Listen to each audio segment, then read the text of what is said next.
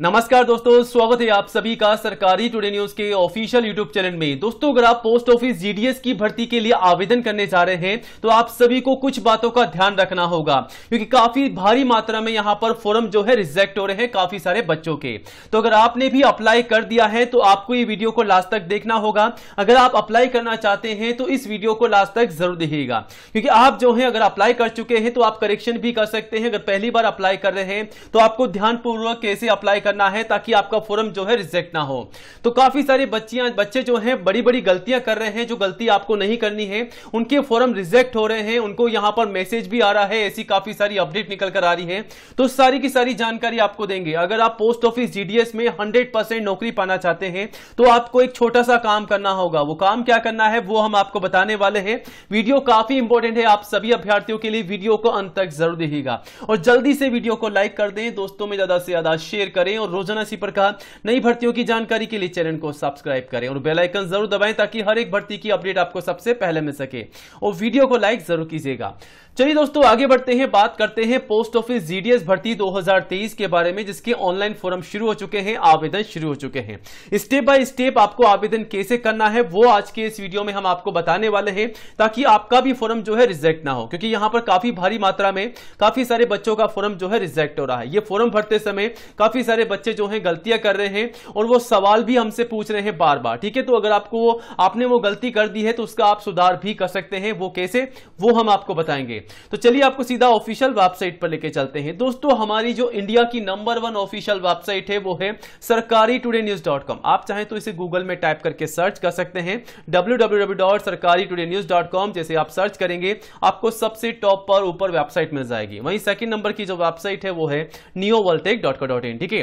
तो दोस्तों, हम आ चुके हैं सीधा ऑफिशियल वेबसाइट पर सरकारी टुडे न्यूज़ डॉट कॉम पर, और आज हम बात करेंगे जीडीएस रिक्रूटमेंट 2022 के बारे में 23 के बारे में। माफ़ कीजिएगा 2023 की भर्ती के बारे में, जो कि तीसरी बार निकाली गई है, और जो भर्ती है, तीस हज़ार चालीस से अधिक पदों पर है। ठीक है, ग्रामीण डाक सेवक जीडीएस की भर्ती है। पोस्ट ऑफ़िस की तरफ़ से निकाली गई है। आवेदन ऑनलाइन शुरू हो चुके हैं। सैलरी बारह हज़ार से लगभग तीस हज़ार रुपए महीना आपको मिल रही है। उम्र सीमा जो है अठारह से चालीस साल तक के कैंडिडेट अप्लाई कर सकते हैं।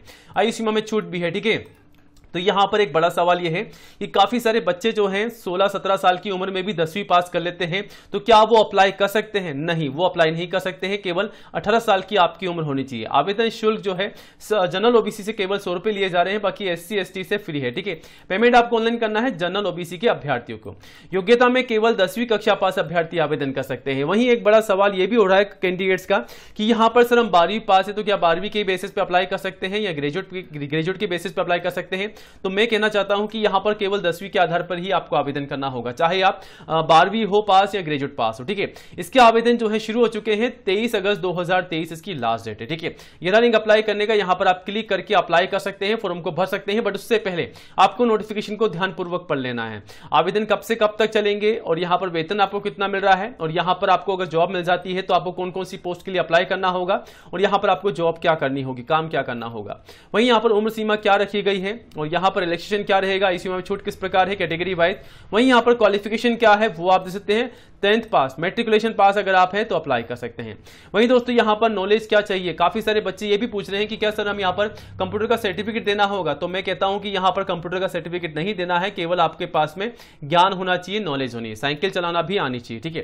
तो यहाँ पर आप पूरी जानकारी ले सकते हैं अप्लाई कर सकते हैं। वहीं यहाँ पर सर्कल वाइज जो नोटिफिकेशन जारी किया गया है, उससे भी आप चेकआउट कर सकते हैं कि आपके राज्य में कितनी कितनी वैकेंसीज है कैटेगरी वाइज उसी के अकॉर्डिंग आप अप्लाई कर सकते हैं। वहीं अप्लाई करने का बटन यहाँ पर क्लिक कर दीजिएगा और अगर आप चाहते हैं आपके राज्य में अप्लाई करना तो उसका भी लिंक आपको वहाँ पर मिल जाएगा। पर्टिकुलर एक एक राज्य के लिए इस ऑनलाइन फॉर्म को भर करके सबमिट कर सकते हैं। जैसा कि आप सकते हैं, आप किसी भी राज्य में रहते हैं, मान लीजिए अगर आप झारखंड में हैं तो अप्लाई कर सकते हैं। पंजाब में, राजस्थान में है, कहीं पर भी रहते हैं तो यहाँ पर क्लिक कर दीजिएगा, आपको पूरी की पूरी जानकारी मिल जाएगी। सर्कल वाइज यहाँ पर आप जानकारी ले सकते हैं।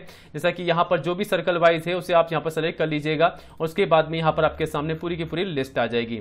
यहाँ पर कौन सा डिवीज़न है, कौन सा सर्कल है, पूरी जानकारी यहाँ पर दी गई है। और अप्लाई करते समय आपको कुछ बातों का ध्यान रखना है, जो काफ़ी सारे बच्चे गलतियाँ कर रहे हैं, उनका फॉर्म रिजेक्ट हो रहा है। वो इस कारण से कि दसवीं की मार्कशीट में जो भी इंफॉर्मेशन है, वो यहाँ पर पूरी नहीं डाल रहे हैं, जिसके कारण से उनका फॉर्म जो है रिजेक्ट हो रहा है। तो दसवीं की मार्कशीट में जो भी आपकी जानकारी है, वही आपको डालनी है, जैसा कि आपका नाम क्या है, पिताजी का नाम क्या है, माताजी का नाम क्या है, डेट ऑफ़ बर्थ क्या है। ये चारी चारों की चारों जानकारी आपकी दसवीं की मार्कशीट में होती है। उसके बाद आपका मोबाइल नंबर और ईमेल आईडी, वही डालना है, जो आप रोज़ाना इस्तेमाल में लेते हैं। अदरवाइज़ दोस्तों आपके पास में ओटीपी नहीं आएगा और यहाँ पर पोस्ट ऑफ़िस की तरफ़ से जो भी आपको जानकारी देनी होगी आपके मोबाइल पर या ईमेल पर वो आपको नहीं मिल पाएगी। तो आपको वैलिड आपका जो भी मोबाइल है ईमेल आईडी है वही आपको यहाँ पर डालना है उसे वैलिड करना है। उसके बाद आपने दसवीं कहाँ से पास आउट की है आपने कौन से सन में पास की है परसेंटेज क्या है वो सारी जानकारी आपको बिल्कुल सही से सही डालनी है ठीक है? डेट ऑफ़ बर्थ भी आपकी सही डालनी है उसके बाद कैप्चा कोड डाल के सबमिट करना है। उसके बाद आपका एड्रेस क्या है आपकी क्वालिफिकेशन क्या है आपका एक्सपीरियंस क्या है और जो भी आपसे जानकारी मांगी जाती है वो फिलअप करके फॉर्म को सबमिट करना है। बाकी सभी जानकारी जो है आप इस नोटिफिकेशन से ले सकते हैं। तो चैनल को सब्सक्राइब और वीडियो को लाइक ज़रूर कीजिएगा।